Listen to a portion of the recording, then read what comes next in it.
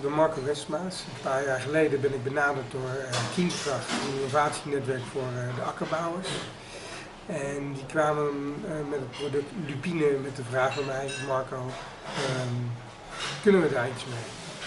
Nou, uiteraard werd ik razend enthousiast. het heeft hele mooie eigenschappen, gelijkwaardig aan soja, alleen denk ik nog mooier qua structuur en notenachtige smaak die het heeft.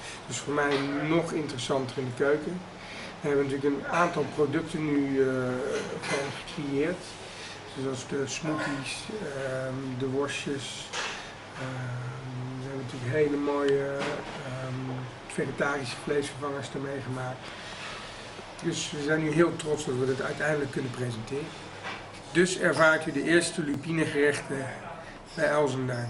Geniet.